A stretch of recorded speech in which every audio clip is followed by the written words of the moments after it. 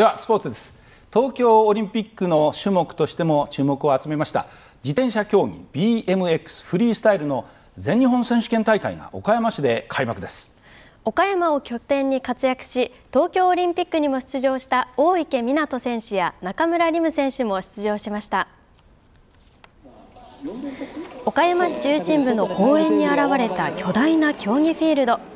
今日開幕した第6回全日本 BMX フリースタイル選手権です。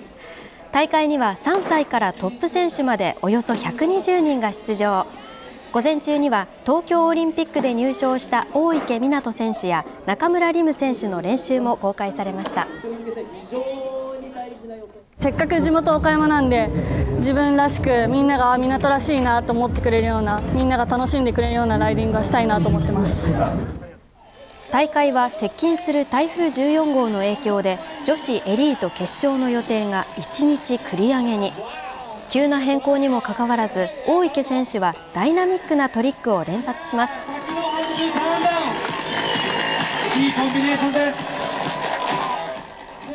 1回目で69.75ポイントを獲得し優勝を飾りました。港ちゃんやっぱりすごかったです。女の子なのにあんなに飛んで走るっていうのがちょっとすごいなと思ってやっぱり見てて僕でできないんで。